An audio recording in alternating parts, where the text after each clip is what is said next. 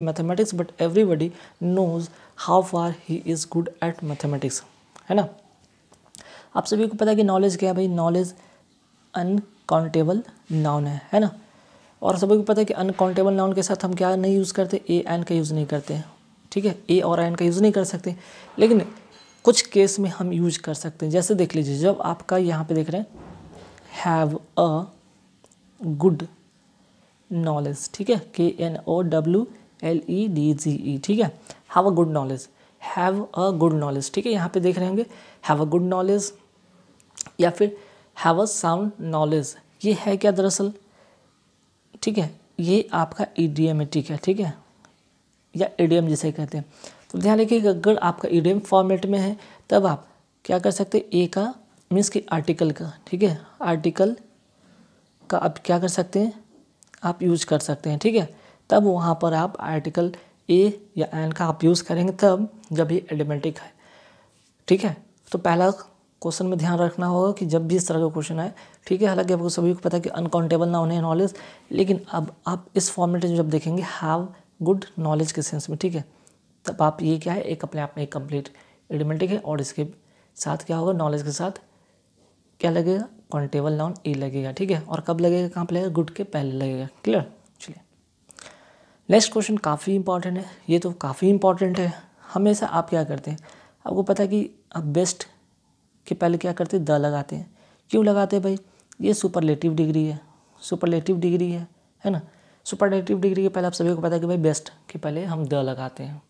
Superlative more than one का comparison होता है, तब होता है। लेकिन कभी आपने नहीं सुना होगा कि भाई कि ये, ठीक है? कॉम्परेटिव डिग्री के पहले। कॉम्परेटिव डिग्री के पहले भी द हो सकता है, ठीक है? तो आप चौंक जाएँगे, भाई, ऐसे कैसे? सुपरलेटिव डिग्री के पहले तो मैंने सुना था कि द होता है, लेकिन कॉम्परेटिव डिग्री के पहले भी होता है। जी हाँ बिल्कुल होता है, ध्यान रखिएगा। कब होता है कंडीशन ध्यान रखिएगा। इस केस को ध्यान रखिएगा, काफ़ी इंपॉर्टेंट है, ठीक है? तो देखिए, जब कंपरेटिव डिग्री से कॉम्परेटिव डिग्री से आपको क्या पता चले? चॉइस ठीक है? चॉइस की बात पता चले, ठीक है? या ऑप्शन की बात पता चले। चॉइस या ऑप्शन की अगर हम बात करते हैं, ठीक है? तो वैसे कंडीशन में हम क्या करते हैं? कॉम्परेटिव डिग्री के पहले आप द का यूज़ करेंगे, ठीक है? तो ध्यान रखिएगा, यदि कॉम्परेटिव डिग्री के बाद या फिर कॉम्परेटिव डिग्री का अगर सेंटेंस में आए ऑफ़ द टू जैसे देख रहे हैं यहाँ पे ऑफ़ द टू ठीक है? ऐसे केस में आप क्या करेंगे? आप कॉम्परेटिव डिग्री के पहले, चाहे कॉम्परेटिव डिग्री पहले या बाद में, कहीं पे भी हो, लेकिन आप उसे द लगाएँगे। जैसे कि of the two answer this is definitely the better ठीक है? तो ये बात आप नोट रखिएगा और एग्ज़ाम में इस तरह का ये जो देख रहे हैं ना, ये वाला आया भी क्वेश्चन है, ठीक है? चलिए। नेक्स्ट क्वेश्चन भी काफ़ी इंपॉर्टेंट है। तो फ़र्स्ट क्वेश्चन में आपने पहला चीज़ सीखा, दूसरा चीज़ सीखा थर्ड में आते फटाफट। I don't like that type of a man who does nothing but find out faults in the in others ठीक है? अब आपने देख रहा हो दिख रहा होगा आपको यहाँ पे टाइप ऑफ़ अ मैन ठीक है? ध्यान रखिएगा, एक चीज़ नोट कर लीजिए अभी, ठीक है? टाइप ऑफ़ की बात हो रही है है ना? तो टाइप ऑफ़ ठीक है? या फिर काइंड ऑफ़ टाइप ऑफ़ की मैंने बात किया काइंड ऑफ़ की बात किया मैंने। एक कई बार आता है एग्ज़ाम में शॉर्ट ऑफ़ ठीक है? ये भी काफ़ी इम्पोर्टेंट है। शॉर्ट ऑफ़ ठीक? शॉर्ट ऑफ़ तो इसके बाद जो भी नॉन आएगा, इसके बाद जो भी नॉन आएगा, ठीक है ना? इसके बाद जो भी नॉन आएगा, जैसे देख रहे हैं यहाँ पे टाइप ऑफ़ के बाद यहाँ पे क्या है? आपका नाउन है। तो नाउन की जो इस इस कंडीशन में नाउन के पहले आर्टिकल की अगर हम बात करें आर्टिकल, ठीक है? इसके पहले अगर हम आर्टिकल लगा दें तो ये गलत है, ठीक है? आर्टिकल का यूज़ नहीं करेंगे। दैट जैसे type of, kind of, sort of के बाद अगर नाउन है तो उसके पहले हम क्या करेंगे? यहाँ पे आर्टिकल ए का यूज़ नहीं करेंगे, ठीक है? ये यहाँ पे रॉन्ग है। चलिए। नेक्स्ट क्वेश्चन आते हैं, काफ़ी इंपॉर्टेंट क्वेश्चन ये भी है। It was by a mistake that he caught her hand ठीक है? ही काउट हर हैंड अब देखिए यहाँ पे ध्यान रखिएगा ए ए यहाँ पे लगाना गलत है है ना? क्यों? क्योंकि बाई मिस्टेक जो है ना ये मिस्टेक बाई मिस्टेक की यहाँ पे बात हो रही है, ठीक है? बाई मिस्टेक तो ये है क्या भाई? तो बाई मिस्टेक है क्या? तो ये एक फ्रेज़ है, ठीक है? एक फ्रेज़ है। और फ्रेज़ में कभी भी यहाँ पे ए का कोई सवाल ही नहीं होता है, ठीक है? चलिए। नेक्स्ट क्वेश्चन आते हैं little knowledge of music that he possess prove to be a boon for him when he was utterly helps helpless ठीक है फिफ्थ नंबर में क्या है? तो देखिए, एक तो होता है आपका लिटिल ठीक है, एक होता है ए लिटिल एक होता है द लिटिल ठीक है? Little a little the little ठीक है? लिटिल का मतलब होता है ऑलमोस्ट नन नहीं के बराबर, ठीक है? नहीं के बराबर, ठीक है? नहीं के बराबर। ए लिटिल का मतलब होता है, यहाँ पे ध्यान रखिएगा, कुछ, ठीक है? और द लिटिल का मतलब जो होता है, जो थोड़ा में जो भी थोड़ा है, उसी की बात हो रही है, ठीक है? तो ध्यान रखिएगा। ये लिटिल का मतलब नहीं के बराबर। अगर लिटिल हो तो है ही नहीं ना के बराबर। और ये लिटिल की अगर हम बात करें तो क्या काउंटेबल है कि अनकाउंटेबल है? तो ये अनकाउंटेबल होता है, ठीक है? लिटिल किसके साथ लगता है? ध्यान रखिए अनकाउंटेबल नाउन के साथ लगता है। एक बात और नोटिस नोटिस कर नोट कर लीजिए कि लिटिल तो पहले अनकाउंटेबल नाउन के साथ लगता है। अच्छा लिटिल नहीं के बराबर तो अ लिटिल कुछ, और द लिटिल जो थोड़ा है, ठीक है? ये जब तीन चीज़ आपने समझ लिया तब यहाँ पे आप खुद ही अब एलिमिनेट कर लेंगे। आप खुद ही यहाँ पे यहाँ पे फाइंड आउट कर लेंगे इसका आंसर ठीक है? देखिए, ये नॉलेज क्या है अनकाउंटेबल नाउन है। ठीक है? लिटिल भी लगाया, भी सही है, ये भी सही है। लेकिन लिटिल का मतलब क्या होता है? नहीं के बराबर, नहीं के बराबर। ठीक है? तो जब नहीं के बराबर की बात हो रही है म्यूज़िक का तो यहाँ पे सेंटेंस का देखिए अगर फॉर्मेट है, ये क्या है? पॉजिटिव सेंस लेके आ रहा है। लिटिल निगेटिव के सेंस में कुछ भी नहीं है, लेकिन गलत हो जाएगा ना। आपको यहाँ पे क्या लगाना होगा? द लिटिल लगाना होगा। जो भी मतलब कुछ नॉलेज की बात हो रही है, ठीक है? आपको क्या करना होगा? द लिटिल जो थोड़ा नॉलेज की बात हो रही है, उसके बारे में बात हो रहा है, तब जाकर ये सही हो जाएगा। लिटिल नहीं द लिटिल का यूज़ करेंगे, ठीक है? अब आते हैं next question first first step in a rational solution to any problem in the recognition that type of problem exist अब आपको जैसे ही फ़र्स्ट दिखा था, आपको पता होगा ना कि फ़र्स्ट आप सभी को पता होगा जैसे ही फ़र्स्ट दिखता होगा तो लगता है वही सुपरलेटिव डिग्री द लगा दो, ठीक है, बात सही है, लेकिन यहाँ पे ध्यान रखिएगा। तो हर बार यहाँ पे ऐसा नहीं होता है, आपको फ़र्स्ट उसके अनुसार, वो जो होता है कि आप बेस्ट के सेंस में तो गुड बेटर बेस्ट के सेंस में तो है सुपरलेटिव डिग्री लेकिन यहाँ पे फ़र्स्ट की अगर हम बात करें तो ये फ़र्स्ट वो नहीं है, ठीक है। देखने से लगता है लेकिन फ़र्स्ट वो नहीं है, यहाँ पे फ़र्स्ट के बारे में समझ लीजिए, है कहिए। ये आपका ऑर्डिनल नंबर है ऑर्डिनल नंबर है, ठीक है? पहला चीज़, फ़र्स्ट क्या ऑर्डिनल नंबर है। तो ऑर्डिनल नंबर के साथ क्या लगता है भाई? इसके साथ द लगता है, ठीक है? ऑर्डिनल नंबर के साथ क्या लगता है? द लगता है। कहने का मतलब द प्लस ऑर्डिनल नंबर है ना? ऑर्डिनल के साथ क्या लगता है द प्लस ऑर्डिनल नंबर तो आपका ए यहाँ नहीं होगा, बल्कि द होगा। द फ़र्स्ट स्टेप ठीक है? चलिए। नेक्स्ट आते इंपॉर्टेंट क्वेश्चन में से एक है कि don't talk to him he always remain in temper this day remain in temper this day क्या होगा यहाँ पे आंसर है ना? इंपॉर्टेंट है क्वेश्चन भाई यहाँ पे क्या होने वाला है? ध्यान दीजिएगा। तो यहाँ पे जो इम्पोर्टेंट ये है, देखिए, अभी मैंने कई बार बोला है कि इडियमेटिक जैसे कि यहाँ पे इन नोट कर लीजिए इन अ टेम्पर, ठीक है? इन अ टेम्पर, ये क्या है आपका? इडियमेटिक है। तो ध्यान रखिएगा, अब इडियमेटिक है तो यहाँ पे इन के साथ क्या होना चाहिए था यहाँ पे? ए आना चाहिए था, ठीक है? यहाँ पे एरर ये है। नोट कर लीजिएगा इन अ टेम्पर होता है। इन टेम्पर नहीं, इन अ टेम्पर, ठीक? चलिए, नेक्स्ट क्वेश्चन पे आते हैं। नेक्स्ट क्वेश्चन भी आपका इंपॉर्टेंट होगा यहाँ पे, ठीक है? इन अ इन अ टेम्पर की बात होगी कि इन अ टेम्पर होता है इन टेम्पर नहीं होता है है ना? चलिए, अब आते हैं क्वेश्चन नंबर एट पर, जो कि क्या है भाई? दीज ऑर्डर है ना? These orders of the manager ठीक है?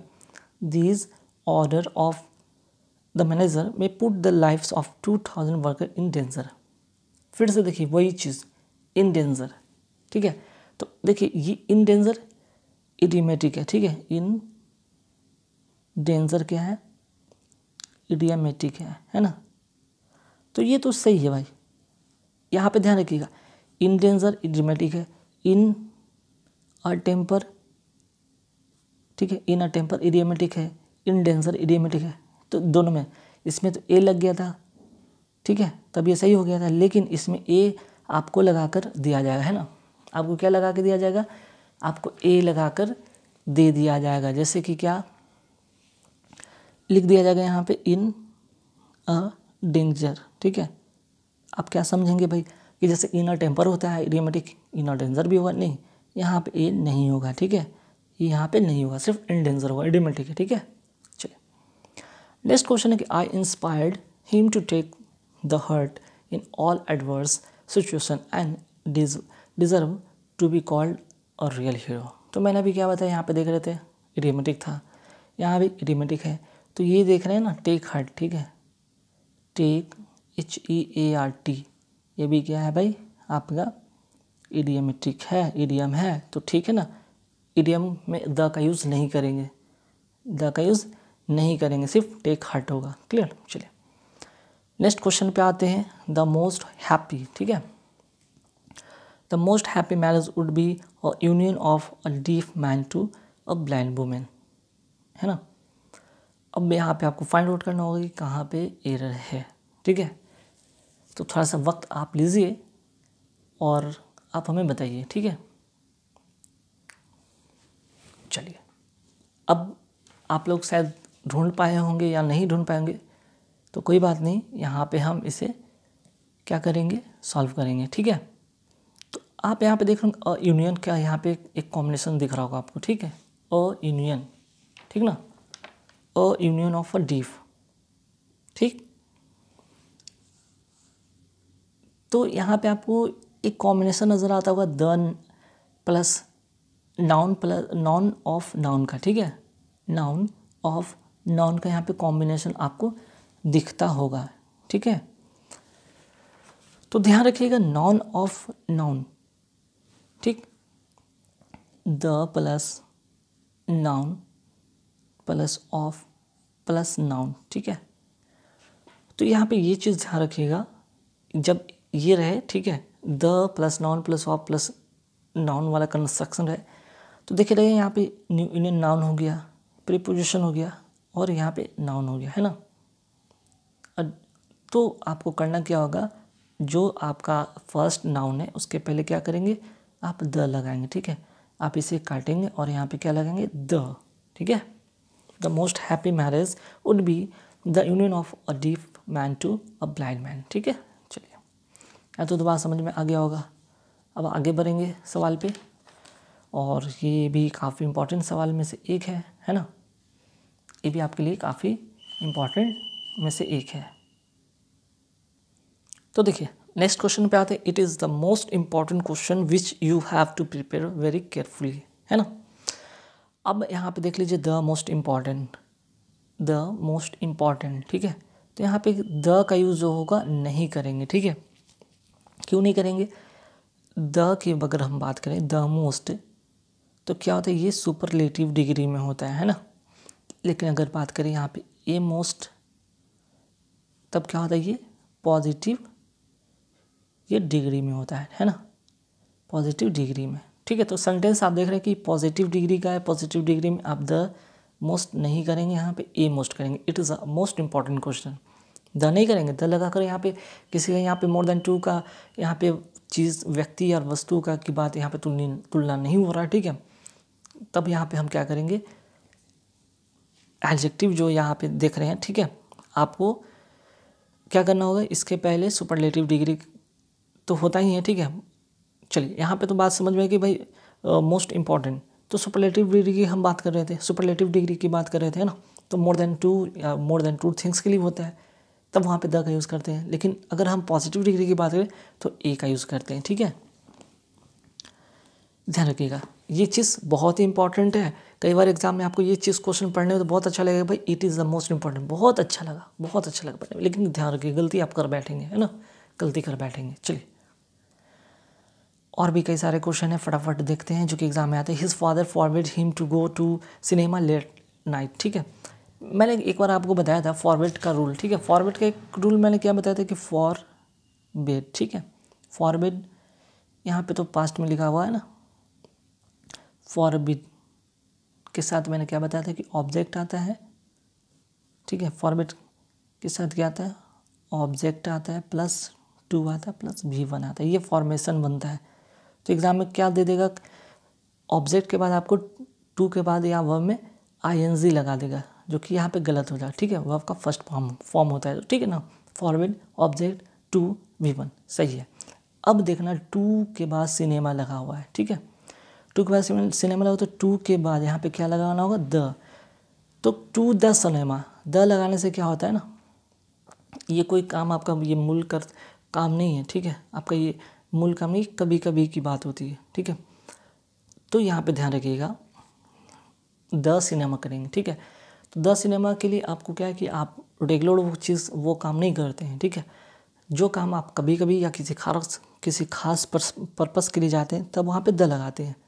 अगर कंटिन्यू की आपका वो नैतिक कर्तव्य है, वो आपका मूल कर्तव्य है वहाँ जाना, तब आप वहाँ पे द नहीं लगाते, लेकिन किसी खास पर्पज से जाते हैं तो वहाँ पे द लगाते हैं ना। तो इससे रिलेटेड और भी क्वेश्चन है, देख लीजिएगा, ठीक है?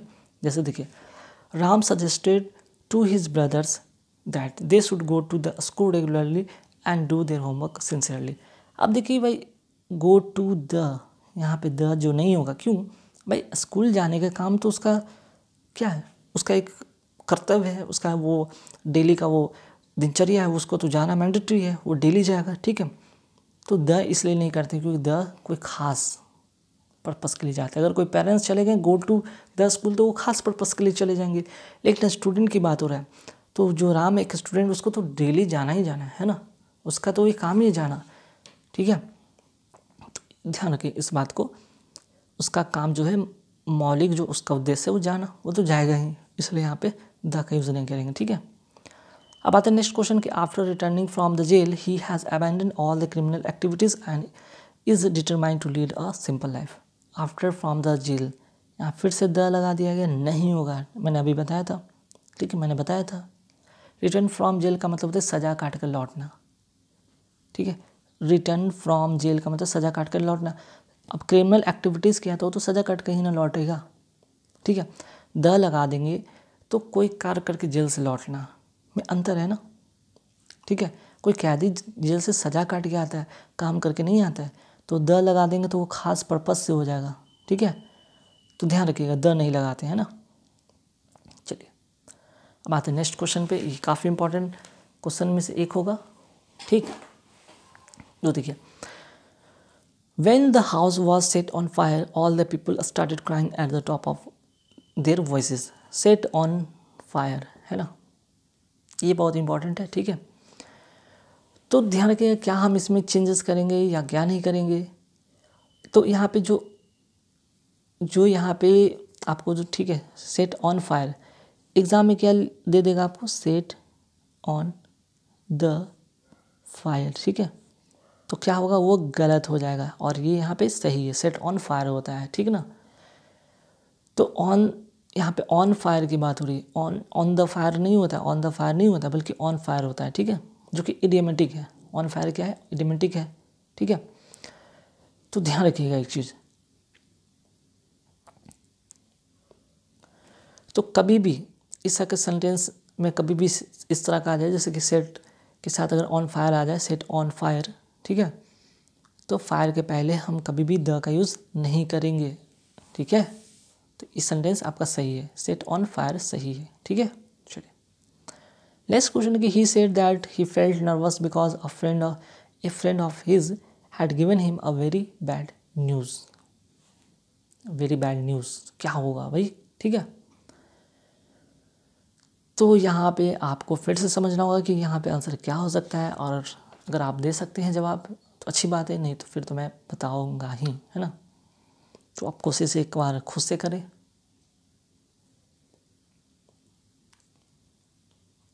तो चलिए, अब मेरी बारी ये बताने का, है ना? मैं बता देता हूँ कि यहाँ पे क्या एरर है, ठीक है?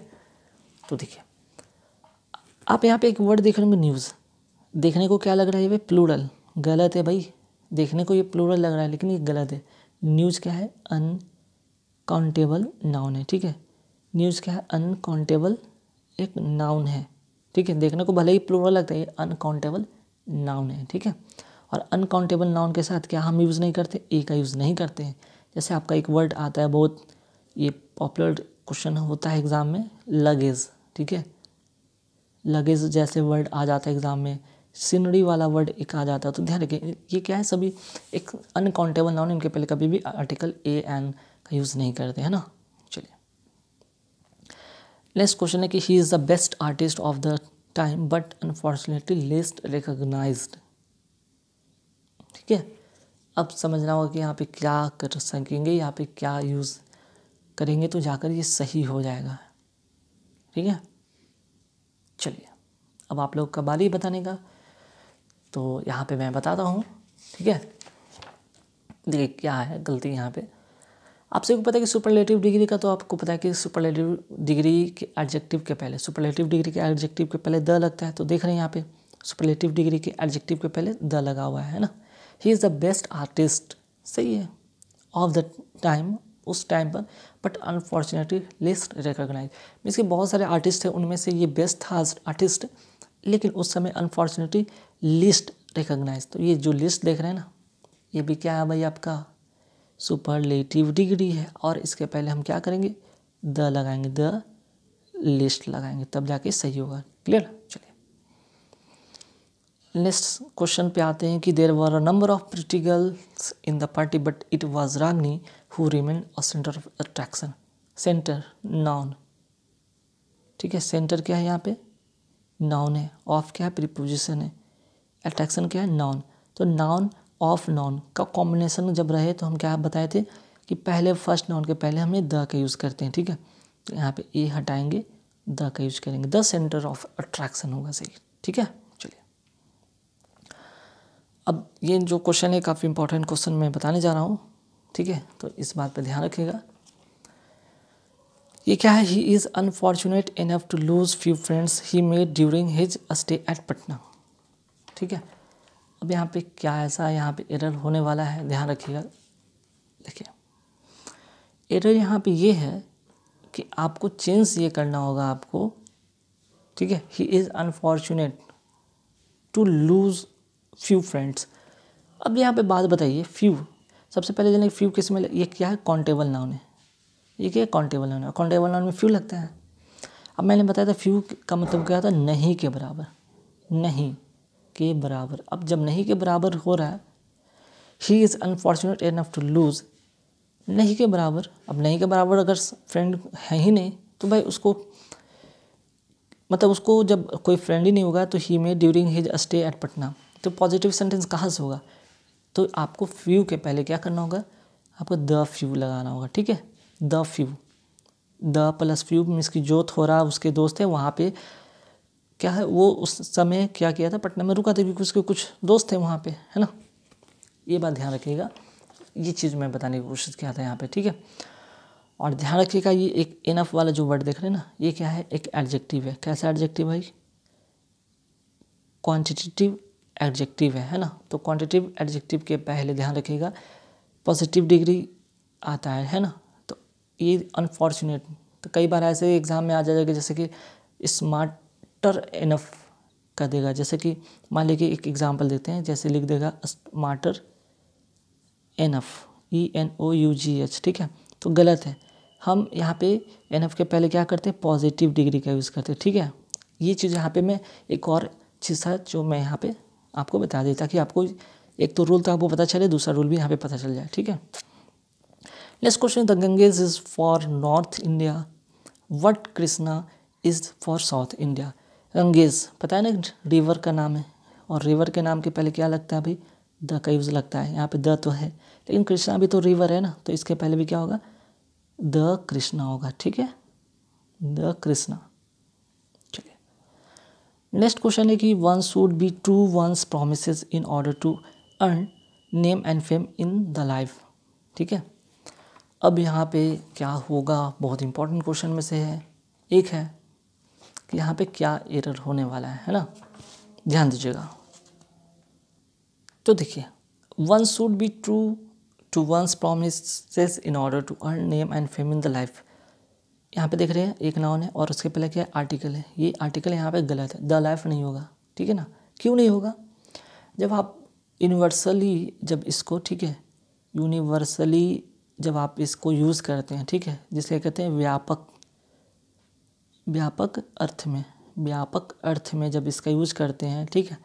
तो हम, जैसे कि लाइफ एक वर्ड हो गया S C I N C science हो गया मैन हो गया, ठीक है? लाइफ साइंस मैन वुमैन ठीक है? इनके पहले हम क्या करते हैं? आर्टिकल द का यूज़ नहीं करते हैं, ठीक है? द का यूज़ नहीं करते हैं। करते कब है? ठीक है लाइफ साइंस के साथ, जब कोई खास यूज़ होता है, खास अर्थों में होता है तो। तब यूज़ करते हैं। जैसे the life of this patient, ठीक है? तब उस सेंस में हम करेंगे the life of this patient तो वो खास अर्थ में हो गया लाइफ। लेकिन अगर हम यूनिवर्सली या व्यापक अर्थ में करते हैं, पूरे पूरे मानव जाति के बारे में अगर बात होती है लाइफ साइंस की बात होती है मैन की बात होती है, तब वहाँ पे हम लोग द यूज़ नहीं करते हैं, ठीक है? तो एरर यहाँ पे ये है। अब आते हैं नेक्स्ट क्वेश्चन ये भी काफ़ी इंपॉर्टेंट है। Music is science but singing is an art ठीक है? सेट द म्यूज़िक टीचर अब इन दोनों में समझने वाली बात क्या है?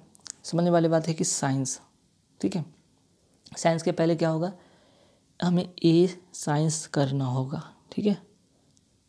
तब जाके सही होगा. हमें ए साइंस यहाँ पे करना होगा. ठीक ना? तो यहाँ पे एक बात पे ध्यान रखिएगा कि जब भी साइंस वर्ड आए तो उसके पहले हम ए का करेंगे, क्योंकि साइंस का जब हम हम व्यापक अर्थ में यहाँ अच्छा यहाँ पे सबसे पहले बात समझिए कि यहाँ पे जो साइंस है, ये व्यापक अर्थ में नहीं है, ठीक है? ठीक है, बल्कि क्या है? ब्रांच ऑफ़ नॉलेज है। ब्रांच ऑफ़ एक क्या है? यहाँ पे नॉलेज की बात कीजिए। ब्रांच ऑफ़ नॉलेज की बात की गई ठीक है? ब्रांच ऑफ़ नॉलेज की बात की गई तो यहाँ पे साइंस को यहाँ पे काउंटेबल की तरह यूज़ करेंगे। व्यापक अर्थ में हो, तब हम क्या करते हैं? नहीं यूज़ करते हैं ठीक है? तब ए का यूज़ नहीं करते हैं। लेकिन अगर हम बात करें, यहाँ पे ब्रांच ऑफ़ नॉलेज की बात करें, ठीक है? Branch of knowledge based on scientific principles तब वहाँ पे हम यूज़ करेंगे, ठीक है? अब इसी में एक चीज़ और देख लीजिए। आर्ट के बारे में बात करें। आर्ट का मतलब क्या होता है? एक प्रयोग कला ठीक है? क्रिएशन ऑफ़ ब्यूटीफुल थिंग्स के अर्थ में हो तो इसके पहले कोई आर्टिकल नहीं होता है है ना? लेकिन आर्ट का अर्थ जब, ध्यान रखिएगा आर्ट आर्ट का अर्थ जब स्किल के सेंस में हो, ठीक है? आर्ट का अर्थ जब स्किल्स के सेंस में हो, तब तब वहाँ पे आर्टिकल ये लगता है, ठीक है? ध्यान रखिएगा। लेकिन क्रिएशन ऑफ़ ब्यूटीफुल थिंग्स जो क्रिएशन है, कोई प्रयोग कला है, ठीक है? आर्ट का कोई प्रयोग कला है क्रिएशन ऑफ़ ब्यूटीफुल थिंग्स हो तब उसके पहले कोई आर्टिकल नहीं होता है। तो ध्यान रखिएगा, ये आर्ट और ये म्यूज़िक बहुत साइंस वाला, काफ़ी इंपॉर्टेंट है। साइंस जब व्यापक अर्थ में हो, तब हम आर्टिकल यूज़ नहीं करते। लेकिन अगर ब्रांच ऑफ़ नॉलेज की बात हो, तब वहाँ पे यूज़ करते हैं कि जैसे music is a science but singing is a is an art set the music music teacher ने बताया था, ठीक है? क्योंकि वो आर्ट के यहाँ पे बात